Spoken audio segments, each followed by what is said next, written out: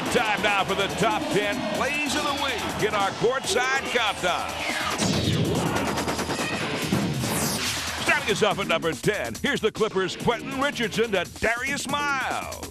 Richardson, alley-oop, Miles. Now that was just terrific. Coming in at number 9 this week, Dirk Nowitzki gets down and dirty in Dallas.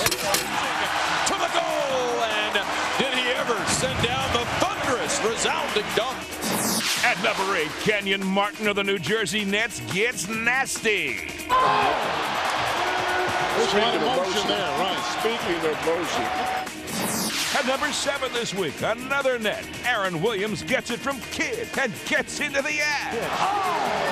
Aaron Williams one hands it down.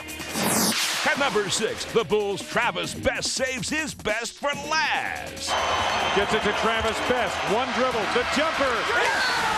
It is yes! It is good. And we're tied.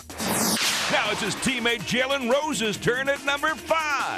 Jalen Rose trying to clear off a screen. It goes to Jalen. Rose spinning. Pulls off the jumper. Yeah!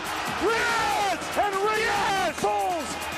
Bulls win this one. Winner! It's 114 to 112. Coming in at number 4 this week, the San Antonio Spurs' Tim Duncan is on the move, flying in for the follow. Tim Duncan timing it perfectly. He's got 17 and 11. His 51st double-double of the season. At number 3, the New Jersey Nets nip the Toronto Raptors at the buzzer, courtesy of Kenyon Martin. Kenyon Martin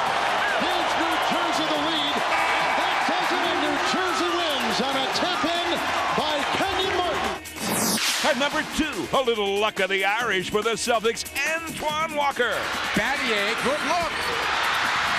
Loose ball, Walker. When you're hot, baby, you are hot. And for our number 1 play of the week, here's the Orlando Magic's one and only Tracy McGrady. Here he goes. Oh, oh, that hurts. Oh, watch out below. You get about one of those per game anymore from him. Oh, my. That's our show for this week. Thanks for watching.